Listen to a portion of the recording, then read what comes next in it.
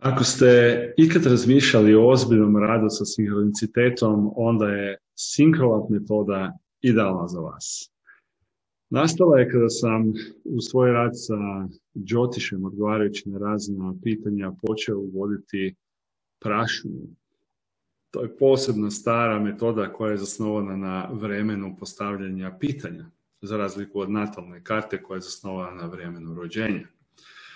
Prašna je dosta složena metoda, zahtjeva veliko znanje o džotišu, te prilagodbe koje nisu baš uvijek jasne, barem nešto se tiče e, literature, a posebice nešto se tiče primjene. Praksa mi je međutim pokazala da se mnogo toga može pojednostaviti i to do te mjere da čak i Džotiš like može upotrebljavati elemente prašne. Synchronlab koristi simboliku nebeskih labirinata, koja je i onako jednaka simbolici graha, odnosno planeta iz Džotiša. Zbunjujući element u prašnji je uvijek težina uticaja određenih elemenata odgovora, takozvane avaste ili stanje u kojem se nalaze simbole. U Syncholabu je to riješeno sa tri oblika u kojim se oni mogu pojavljivati, dakle neočitovani oblik, sjemeni oblik i puni labirint. Na taj jednostavni način obuhvaćeno je mnogo toga i pretvoreno u praktičnu metodu.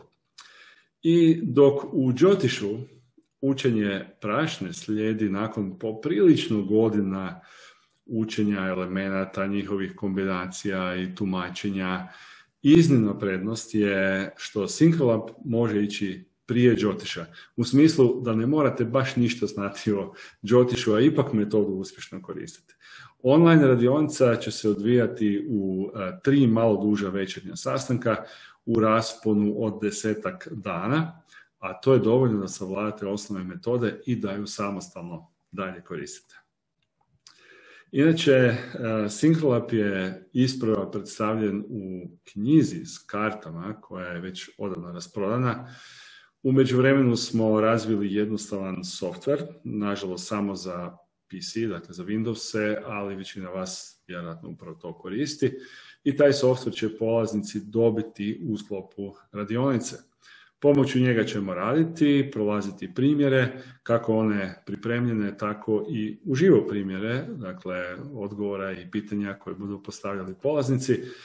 Obradit ćemo i koristiti sve četiri tehnike unutar Synchrolaba, od tehnike jedne karte koja je najjednostavnija, preko uobičajene tehnike tri karte, pa malo složenije tehnike devet karakta, sve do punog Synchrolaba koji daje potpune informacije oko svega u vezi postavljenog pitanja.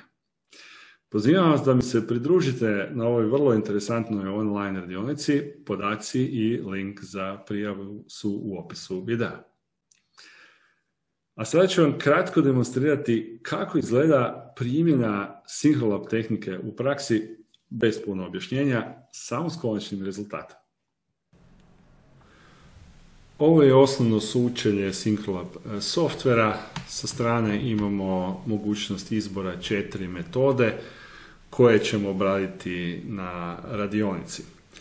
Za ovu priliku e, obradit ćemo, odnosno pokazat ćemo, demonstrirat ćemo kako se radi sa dvije tehnike. Prvo pitanje, tehnika jedne karte, a pitanje je pitanje jedne odluke, na primjer moglo bi glasiti da li je dobro za mene da se ove godine preselim u drugi grad. Dakle, jedna od odluka koja može biti značajna za život i traži se odgovor sinhroniciteta.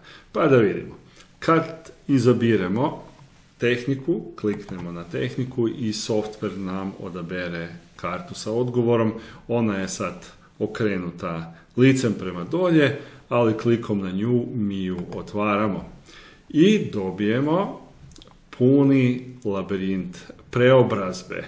Dakle, već iz ovoga možemo vrlo jasno reći da se radi o dosta velikoj životnoj promjeni i da će doći do velike promjene u načinu života. Međutim, u ovom slučaju ne možemo u potpunosti reći da na to pitanje, zbog toga jer situacija nije čista, nije bistra. Postojaće nevidljive prepreke i treba će uložiti puno truda da se e, dođe u situaciju koja je željena. Ajmo uzeti sad za primjer e, jedno drugačije pitanje, pa ćemo odabrati e, novu situaciju. Ovaj put pitanje će biti malo složenije, iako također se radi o jednoj odluci. Na primjer, da li je e, dobro za našu djecu da se partner i ja rastanemo, da ne živimo zajedno. Dakle, prilično velika životna odluka. Pa ovaj put nećemo odabrati jednostavnu tehniku, nego malo složeniju. Tehniku tri karte. Kliknemo na nju, software nam automatski izbacuje odgovor, dakle tri obrnuto polegnute karte. Klikom na njih otkrivamo svoj odgovor.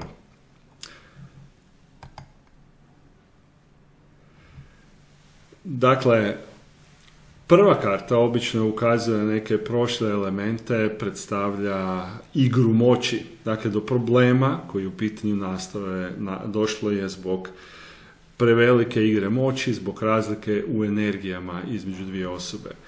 Također, pojavljuje se neočitovani labirint eh, komunikacije, znači da je komunikacija vrlo slaba, i da e, situacija nije baš dobra, a ukupni rezultat je sjemeni oblik labirinta komunikacije koji ukazuje da će se problemi malo poboljšati, ali će se nastaviti i dalje.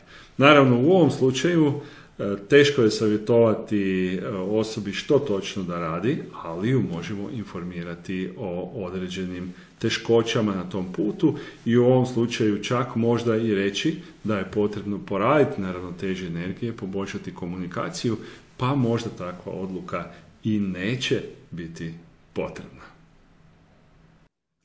Izgleda jednostavno, zar ne? Pa jest jednostavno, a kako točno sam došao do tih odgovora i kako do takvih odgovora možete doći i sami, to možete naučiti na Synchrolab radionici.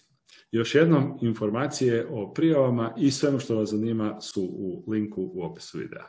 Dobrodošli.